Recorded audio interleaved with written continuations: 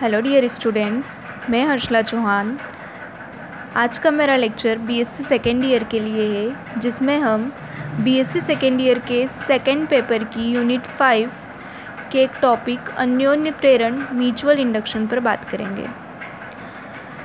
Mutual induction भी विद्युत चुंबकीय प्रेरण पर आधारित एक घटना है। जैसे कि पिछले लेक्चर में हमने स्व प्रेरण पर बात की थी उसमें हमने देखा था कि जब हम किसी कॉइल में करंट फ्लो करते हैं तो कॉइल के चारों ओर एक मैग्नेटिक फ़ील्ड प्रोड्यूस होने लगता है, जिससे उस कॉइल में मैग्नेटिक फ़ील्ड लाइंस या मैग्नेटिक फ्लक्स गुजरने लगता है। इस घटना को सेल्फ इंडक्शन कहते हैं। इसके लिए यदि हम देखें तो सेल्फ इंडक्शन में एक कॉइल होती है, जिसमें विद्युत धारा प्रवाहित होती है और उसी कॉइल में प्रेरित धारा भी उत्पन्न होती है। पूरी घटना एक ही परिपथ में या एक ही कुंडली में होती है। हम बात करें अन्योन्य प्रेरण की तो यहाँ पर हमारे पास दो कॉइल है। एक कॉइल में जिसको हमने बैटरी से अटैच किया है, यहाँ पर हम इलेक्ट्रिक फ़ील्ड या इलेक्ट्रिक फ़ील्ड प्रोड्यूस करा के इसमें करंट फ्लो करते हैं। तो इस कॉइल के पास में रखी एक दूसरी कॉइल में प्रेरित धारा उत्पन्न होने लगती है।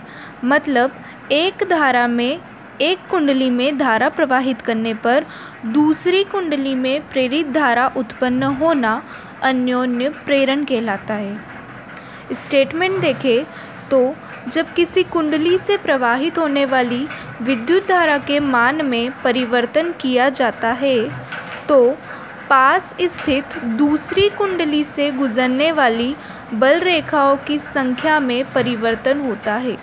अतः उस कुंडली में प्रेरित धारा उत्पन्न हो जाती है और इस घटना को अन्योन्य प्रेरण कहते हैं।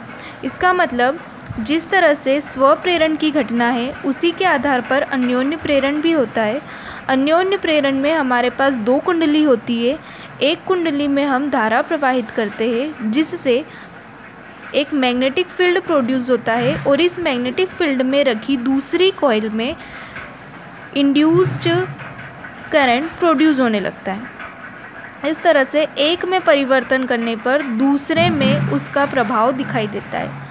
जिस कुंडली में धारा के मान में परिवर्तन किया जाता है, उसे प्राइमरी कॉइल प्राथमिक कुंडली कहते हैं। और जिस कुंडली में प्रेरित धारा उत्पन्न होती है जिसमें हमें इंड्यूस्ड करंट दिखता है, उसे सेकेंडरी कॉइल कहते हैं। यदि हम इस डायग्राम में देखें तो तो ये हमारी प्राइमरी कॉइल है, जिसमें हम धारा के मान में परिवर्तन करते हैं या इस कुंडली में हम धारा प्रवाहित करते हैं, जिसका इफ़ेक्ट हमें सेकेंडरी कॉइल में दिखाई देता है। इस तरह से इस पूरी घटना को अन्योन्य प्रेरण, म्यूचुअल इंडक्शन कहते हैं।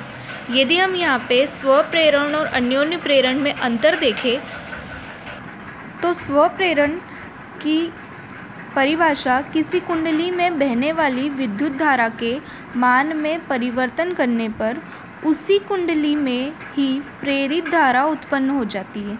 इस घटना को स्वप्रेरण कहते हैं। और यदि हम अन्योन्य प्रेरण को देखें तो किसी कुंडली में बहने वाली विद्युत धारा के मान में परिवर्तन करने पर पास रखी दूसरी कुंडली में प्रेरित धारा उत्पन्न हो जाती है। इस घटना को अन्योन्य प्रेरण कहते हैं। स्वप्रेरण में केवल एक कुंडली होती है और अन्योन्य प्रेरण में दो कुंडली, दो कॉइल होती है। स्वप्रेरण में यदि हम देखें तो प्रेरित धारा मुख्य धारा को सीधे प्रभावित करती है।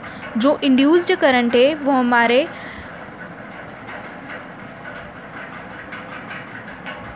वो मेन करंट को डायरेक्ट इफ़ेक्ट करता है।